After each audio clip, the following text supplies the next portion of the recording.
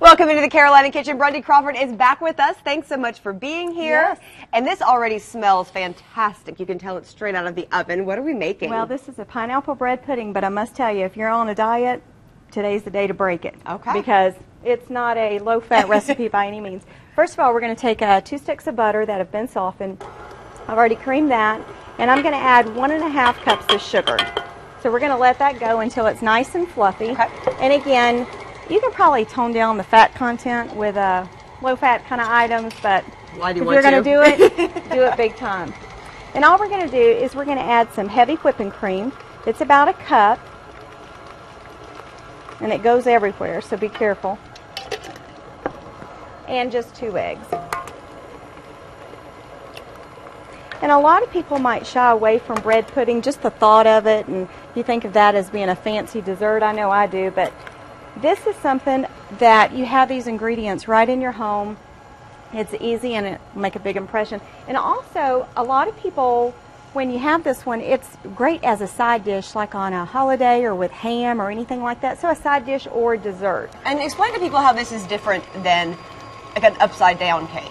Well, the upside down cake is more of a cake consistency. Okay. This is nothing but bread. And you can see here, you can use regular, um, just a sandwich loaf, about 12 slices, Okay. or you can use a French loaf. I like using a French loaf.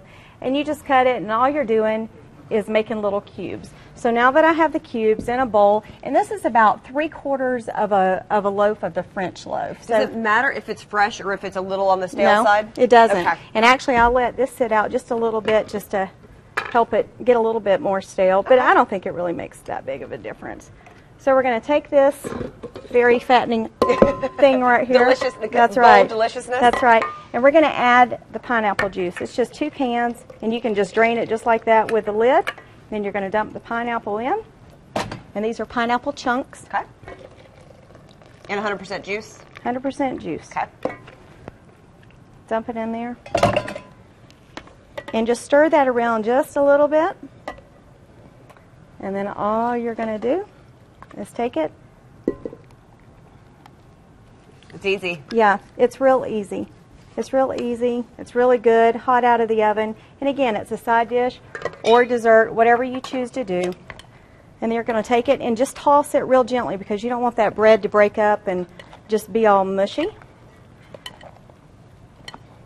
That's it. You're going to dump it right in a 9 by 13. And you don't even have that pan greased. It just No. goes right in. Well, there's so much butter already in it, you don't So even don't need, need to. So, and that's really it. You're going to put it on a, uh, in an oven about 350, about 45 minutes. You want it. It's not going to get really brown, um, but you're going to take it just a little bit brown, and there you have the finished product right over there. It smells so good. I bet that is amazing with ham. Uh, it's fantastic with ham. You always think of that and sweet potatoes and ham and all those fun little sides. But it, again, it's a side or dessert. Just a fabulous little side dish. All right, let's get you guys the recipe. Go to our website, WLOS.com. Click on the Carolina Kitchen link. That is the fastest way. Or you can send a self-addressed stamped envelope to 110 Technology Drive, Asheville 28803.